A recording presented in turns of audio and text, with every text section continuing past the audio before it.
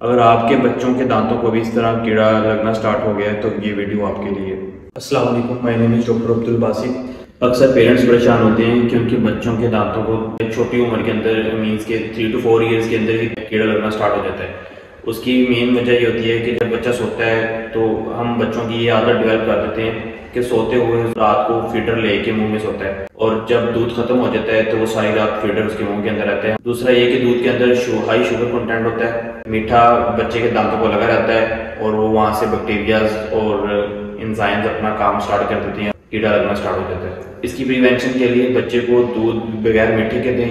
दूसरा सोने से पहले फीडर निकाल के अच्छे से ब्रश करवाएँ। ताकि उनके दांत अच्छे से क्लीन हो जाएँ और वहाँ पे बैक्टीरिया वगैरह और इंजाइम वगैरह ना स्टे करें और कीड़ा लगना स्टार्ट नहीं होगा।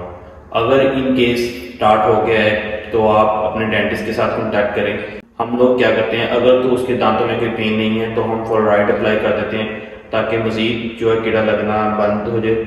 दूसरा, अगर कहीं से उसकी कैविटी बनी हुई है तो हम उनकी फिलिंग कर देते हैं। अगर पेन हो तो उसका प्रोसीजर अलग होता है पल पॉटमी करते हैं पहले। ताकि पेशेंट पेन फ्री हो, फिर उसके बाद फीलिंग करते हैं। Thank you Allah half